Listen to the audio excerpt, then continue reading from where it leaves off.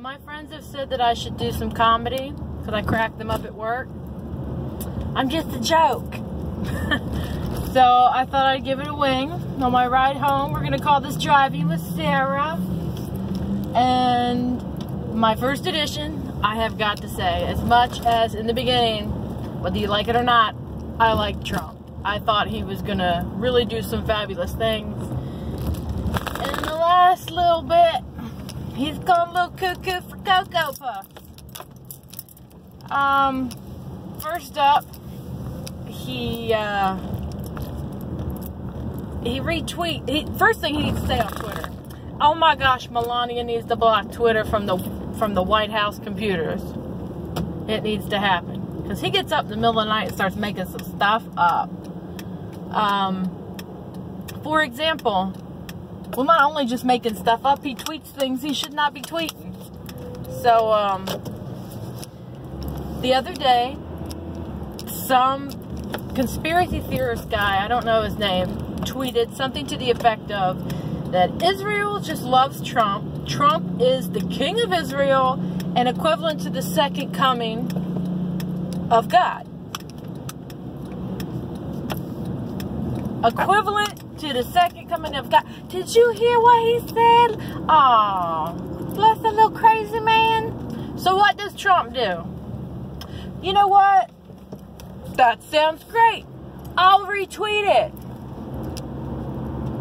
If someone equivalent equivalents you, sorry I'm saying it wrong, acts like you are God, no, crazy crazy people, okay? You are not King of Israel. You are not the second coming of God. And why would you think that's okay to retweet? Do not repeat. No. Oh my gosh. And he doesn't see anything wrong with this. I mean, it's like, pumpkin. No. No. Just no. These are not wise decisions, O great President of the United States. And to make things worse, what was that, like last week, two weeks ago? There's a story that's come out that I saw on the BBC News that Trump said at some big meeting that his idea to get rid of the hurricanes is to hit, blow up a nuclear bomb. That'll divert the direction of the hurricane or destroy the hurricane. How the hell are you going to nuke a hurricane?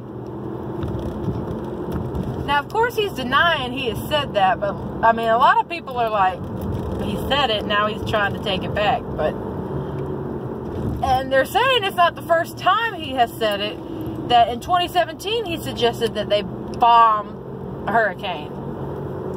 Number one, how can you bomb a hurricane? Ain't you ever put your hand through fog? it won't work. You go through it.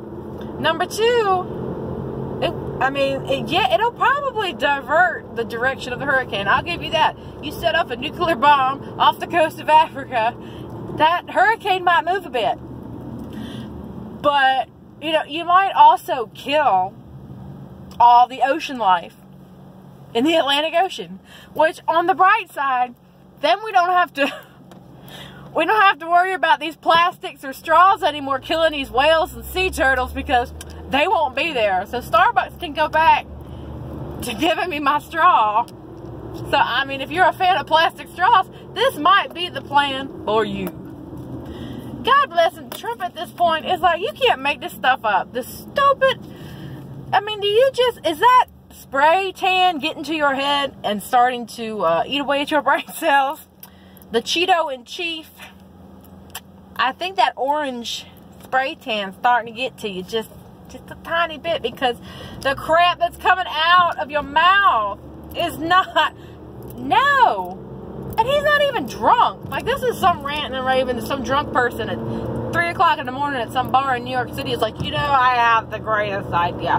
We're going to get rid of hurricanes by nuking them.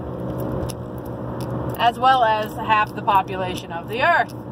So, as much as I love Trump, I used to love Trump he has gone off the crazy deep end. So my very first driving with Sarah is, I guess, the uh, the roast of the Cheeto in Chief.